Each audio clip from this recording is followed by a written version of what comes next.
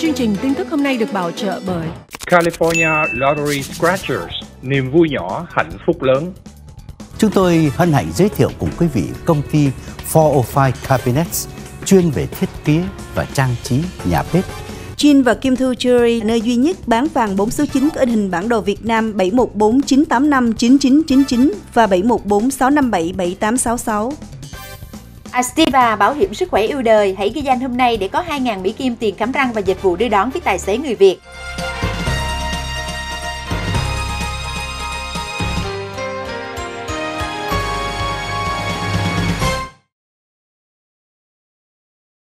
Thấu Yên Hoàng chào thủy trở lại với tất cả quý khán thính giả vào sáng ngày hôm nay ở tại thành phố và là thủ phủ của tiểu bang Hawaii, Honolulu.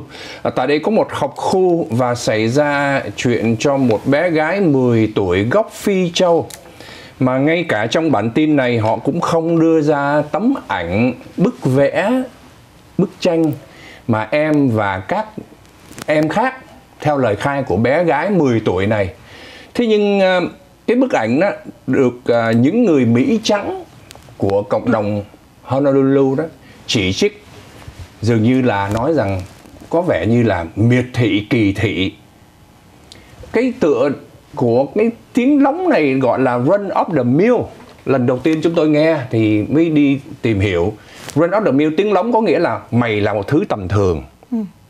nhưng mà có thể là trong các em mà mới có 10 tuổi thôi thì theo lời bé gái này hiện nay thì tại vì em còn nhỏ đó ờ, họ chỉ dùng cái chữ NB thôi Natasha Black hay cái gì đó đại đại loạn là như thế để nói em bởi vì em có 10 tuổi. Em bị còng tay ngay ở trong trường học. Lúc mà thầy cô giáo bị phụ huynh học sinh than phiền. Ừ. có những ờ, đứa bé cùng với em đó lấy cái tấm vẽ này mà chúng tôi ờ, đi lục hình đó, thì thấy mỗi có bức ảnh. Đây là run of the mill. Cũng không hiểu được bởi vì có những điều mà các em trong trường học Mỹ họ chúng làm mình người lớn mình cũng không hiểu được. Nhưng mà đại loại là mang cái tính miệt thị người Mỹ trắng. Chắc có lẽ vì thế mà họ nói rằng à, không xứng đáng và cần phải có hành vi kỷ luật với em. Thế nhưng kỷ luật gì mà đứa bé 10 tuổi mà cảnh sát nghe lời phụ huynh để đi vào rồi trường học, và kể cả thành viên của hội đồng học khu nữa cũng đồng ý với cái phương án còng tay em trước mặt những trẻ em khác. Cho nên ngày hôm nay ờ, tổ chức bảo vệ dân quyền ACLU đã đệ đơn kiện nhắm vào cảnh sát học khu đòi bồi thường 500 ngàn Mỹ Kim, xóa bỏ tất cả những tiền án nhắm vào bé này. Bởi vì khi mà công tay như vậy đưa em bé về uh, sở cảnh sát đó là họ lập biên bản chỉ vì một bức tranh. Mà em nói đó là cá nhân em bị những đứa bé khác trong lớp ăn hiếp bully. À. cho nên em phải vẽ như thế để biểu lộ cái sự phẫn nộ của em vậy mà phụ huynh nói rằng chỉ vì cái hành động lên tiếng mà tự do ngôn luận của em đã bị vi phạm nặng nề chưa kể là em bị bắt làm nhục trước những người khác nữa. Cho nên à, đây là một cái bản tin lớn ở tại Honolulu ngày hôm nay. Và à, bởi vì à, bên phía học khu đó họ đã lỡ làm những cái chuyện này rồi. Và dưới cái những đơn kiện như vậy cho nên họ bây giờ họ đang có luật sư đứng ra để à, tìm cách chắc chắn là đi đến cái việc giải quyết ngoài tòa với em. Thứ nhất đó là ACLU yêu cầu bồi thường à, lấy lại danh dự cho em. Thứ hai là xóa lại tất cả các hồ sơ tiền án chưa kể là bồi thường tiền 500 ngàn Mỹ Kim nữa. Dạ vâng, à, thưa quý vị, à, trong khi đó thì à, cảnh sát ở tại một cái sở cảnh sát ở tại thành phố Huntsville, từ bang Alabama hiện nay đang đứng trước rất nhiều những cái câu hỏi của cộng đồng ở đây về cái việc là tại sao có một người phụ nữ lại có thể chết ở ngay cái parking lot của cảnh sát mà cái nơi này đó nhiều người ra vô như vậy mà để cô này cổ chui vào trong một cái xe cảnh sát và cổ nằm chết ở trong đó suốt mấy ngày mà không có ai hay biết cả. Thì à, đây là cô à, Christina Nance thưa quý vị. Phía gia đình đó à, báo là cổ mất tích vào ngày 2 tháng 10 thì à, đến à, thì cảnh sát họ có lập hồ sơ và họ đi tìm kiếm. Thì đến ngày 7 tháng 10 đó phía cảnh sát họ à, mới bất ngờ là họ à, một người cảnh sát anh này ảnh ra cái chiếc xe van của cái sở cảnh sát Huntsville đó ảnh mở ra thì bất ngờ là ảnh phát hiện thi thể của cô này nằm ở trong này và đã tử vong rồi.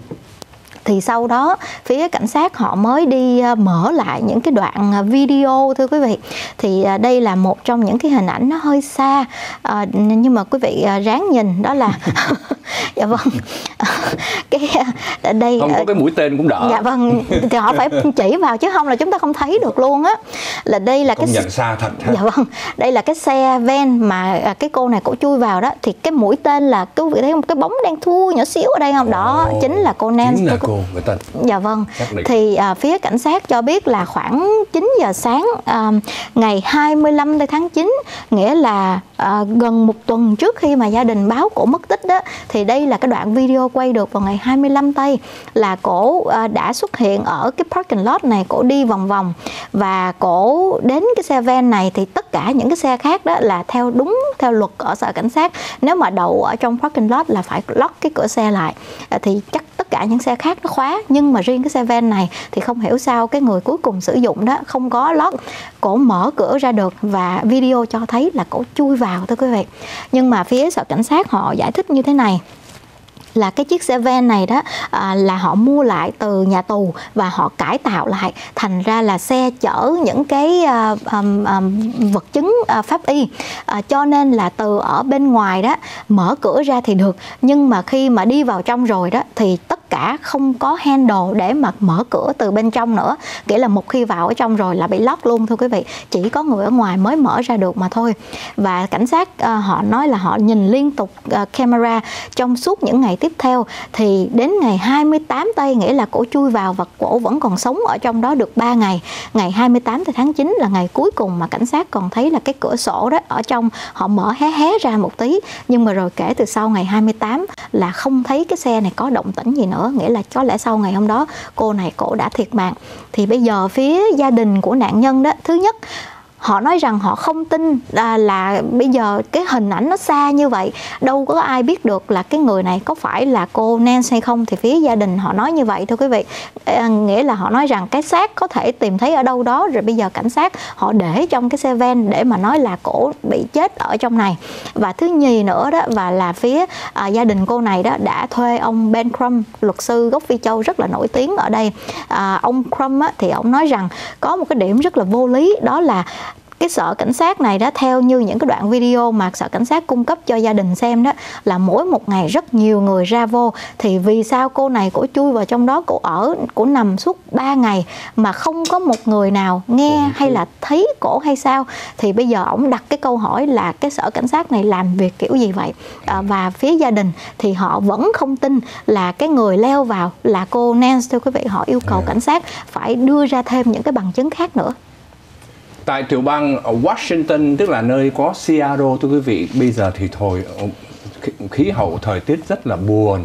Vì thế buổi chiều, chủ nhật vừa qua, đa số người dân ở nhà hết và ở nhà họ mở tivi lên và họ xem dự báo thời tiết, không biết ngày mai đi làm sao. Thứ hai, thì họ nhìn thấy ờ, người bình thường rất là mỗi chiều chủ nhật lúc 6 giờ 30 thì trong phần dự báo thời tiết sướng ngôn viên lên ờ, giới thiệu tự nhiên họ thấy đằng sau lưng của người xuống ngôn viên thời tiết này có một bức ảnh lõa lồ của một phụ nữ.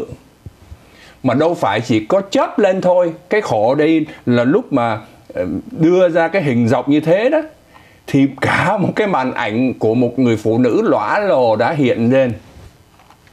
Và chuyện gì xảy ra kéo dài tới 13 giây. 13 giây lâu lắm mà đâu phải có mỗi bức ảnh đâu còn cứ moving nữa di chuyển tới lui nữa. Oh man.